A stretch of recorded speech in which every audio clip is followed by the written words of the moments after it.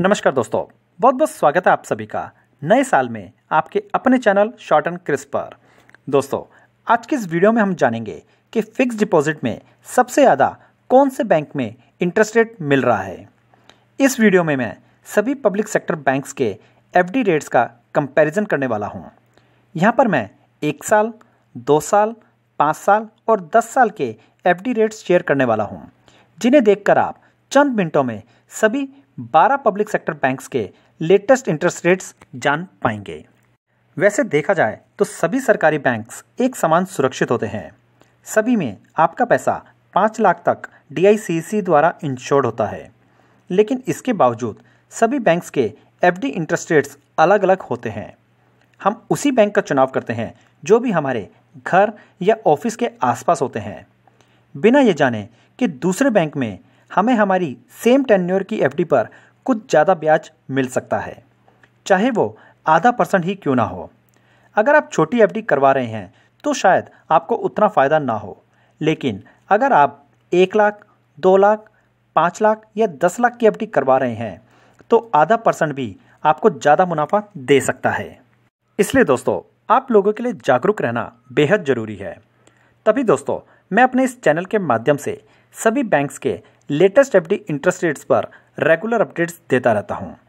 अगर आप भी रेगुलर अपडेट्स पाना चाहते हैं, या फिर यूँ कहें कि अपने आप को जागरूक रखना चाहते हैं तो आप मेरे चैनल शॉर्ट एंड क्रिस्प को सब्सक्राइब कर सकते हैं। तो आइए, बिना देर किए शुरू करते हैं वीडियो को और कंपेयर करते हैं 2021 के सभी पब्लिक सेक्टर बैंक्स के लेटेस्ट एफडी इंटरेस्ट रेट्स। दोस्तों, सबसे पहले आपकी जानकारी के लिए बता दूँ कि आज के दिन टोटल 12 पब्लिक सेक्टर बैंक्स हैं, जिन्हें डी आई इंश्योर करता है। डी आई यानी deposit insurance and credit guarantee corporation जो कि रिज़र्व बैंक ऑफ़ इंडिया की सब्सिडरी है। आइए, सबसे पहले कंपेयर करते हैं एक साल की एफडी के इंटरेस्ट रेट्स यहाँ पर आप देख सकते हैं कि मैंने सभी 12 पब्लिक सेक्टर बैंक्स के लेटेस्ट इंटरेस्ट रेट्स मेंशन किए हैं। साथ ही यहाँ पर आप ये भी देख सकते हैं कि कौन सा बैंक इंटरेस्ट कैलकुलेशन के लिए कंपाउंडिंग ईयरली और कंपाउंडिंग क्वार्टरली मेथड यूज़ कर रहा है। साथ ही यहाँ पर आप ये भी देख सकते हैं कि इन बैंक्स ने लास्ट कब अपने इंटरेस्ट रेट्स रिवाइज किए हैं। उदाहरण के तौर पर बैंक ऑफ़ इंडिया की अगर बात करें तो इस बैंक ने लास्ट अपने एक अक्टूबर को रेट्स रिवाइज किए थे। उसके बाद आज दिन तक उन्होंने अपने रेट्स रिवाइज नहीं किए हैं।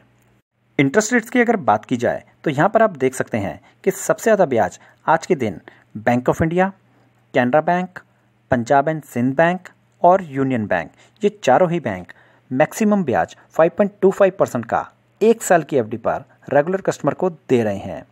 लेकिन इन चारों बैंकों में से कैनरा बैंक एक इकलौता ऐसा बैंक है जो आज के दिन इंटरेस्ट कैलकुलेशन के लिए कंपाउंडिंग क्वार्टरली मेथड यूज़ कर रहा है।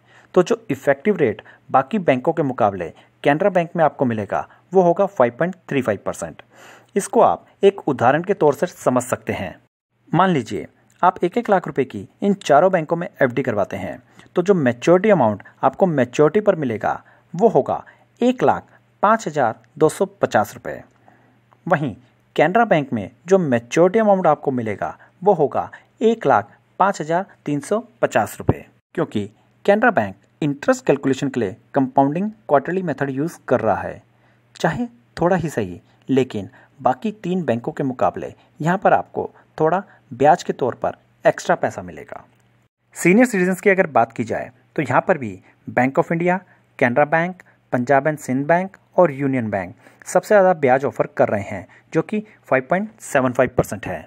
इसके अलावा पंजाब नेशनल बैंक भी यहाँ पर सीनियर सिटीजन्स को 5.7 परसेंट का ब्याज ऑफ़र कर रहा है, जो कि कंपाउंडिंग क्वार्टरली है। तो जो इफ़ेक्टिव रेट आपको यहाँ पर मिलने वाला है, वो होगा 5.82 परसेंट और सबसे ज़्यादा ब्याज सीनियर सिटीजन्स को यहाँ पर कैनरा बैंक ही दे रहा है, क्योंकि कैनरा बैंक नॉर्मली ऑफ़र कर रहा है 5.75 परसेंट और जो कि कंपाउंडिंग क्वार्टरली है तो जो इफ़ेक्टिव रेट आपको यहाँ पर मिलने वाला है, वो होगा 5.88 परसेंट सुपर सीनियर सिटीजन्स की अगर बात करें तो यहाँ पर सबसे ज़्यादा ब्याज इंडियन ओवरसीज बैंक ऑफ़र कर रहा है, जो कि सीनियर सिटीजन्स के मुकाबले 0.25 परसेंट एक्स्ट्रा ब्याज देता है सुपर सीनियर सिटीजन्स को।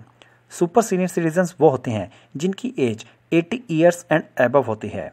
अगर आप 80 ईयर्स एंड एबव हैं तो ये आपके लिए एक अच्छा विकल्प हो सकता है। बाकी सभी बैंक्स की अगर बात करें तो वो सीनियर सिटीज़न और सुपर सीनियर सिटीजन्स में कोई रेट डिफरेंस नहीं करता है।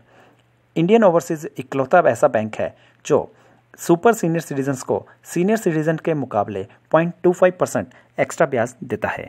और यहाँ पर आप ये भी देख सकते हैं कि पंजाब नेशनल बैंक इकलौता ऐसा बैंक है जिसने रिसेंटली एक जनवरी 2021 को अपने रेट वाइज किए हैं।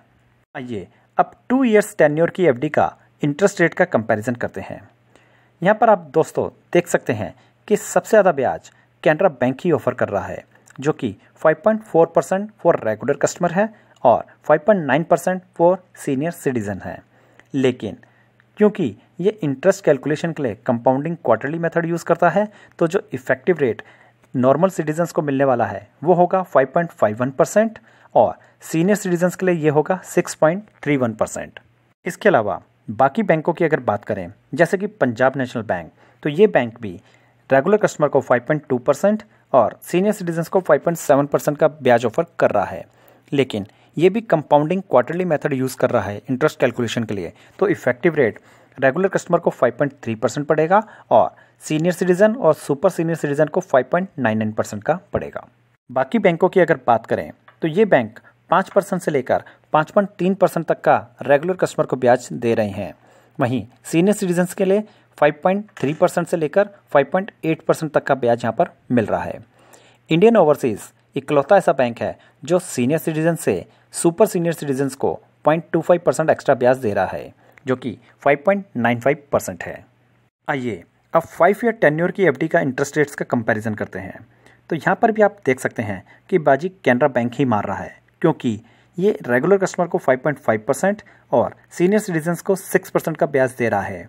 वहीं कंपाउंडिंग क्वार्टरली की वजह से जो इफ़ेक्टिव रेट यहाँ पर रेगुलर कस्टमर और सीनियर सिटीजन्स को मिलने वाला है, वो होगा 6.28 परसेंट और 6.94 परसेंट बाकी बैंकों की अगर बात करें तो यहाँ पर Punjab national bank up to 5.7 percent regular customer के लिए और सीनियर सिटीजन्स के लिए 6.67 परसेंट तक का ब्याज दे रहा है। वहीं यूको बैंक भी रेगुलर कस्टमर को 5.64 परसेंट और सीनियर सिटीजन्स को 6.28 परसेंट तक का ब्याज दे रहा है। वहीं इंडियन ओवरसीज बैंक भी यहाँ पर सुपर सीनियर सिटीजन्स को 5.95 परसेंट तक का ब्याज दे रहा है। आइए अब 10 साल के टेन्योर की एफडी के इंटरेस्ट रेट्स जानते हैं।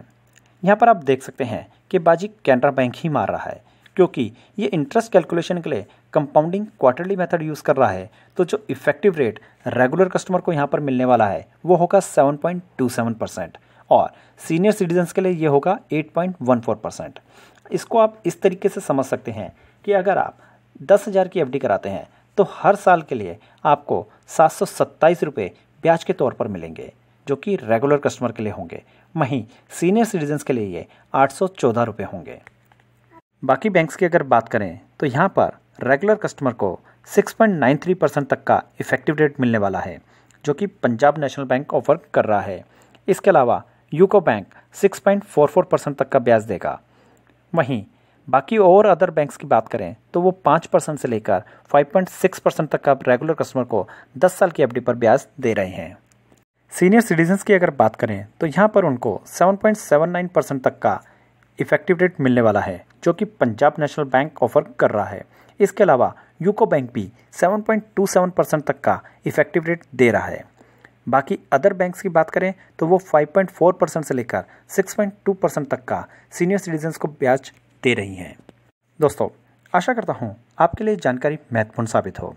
अगर वीडियो पसंद आई हो तो प्लीज़ इसे लाइक ज़रूर करें, क्योंकि आपका एक लाइक मुझे आगे वीडियो बनाने के लिए मोटिवेट करता है। और अभी तक अगर आपने मेरे चैनल को सब्सक्राइब नहीं किया है तो प्लीज़ इसे सब्सक्राइब करें। अब जल्द मिलूँगा आपसे अपनी अगली वीडियो में। तब तक के लिए सावधान रहिए सुरक्षित रहिए। जय हिंद।